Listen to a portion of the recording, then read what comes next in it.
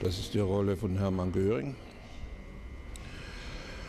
äh, zu der ich heute den ersten Drehtag habe. Heute bin ich nur angekommen, sage, bin ich zu spät.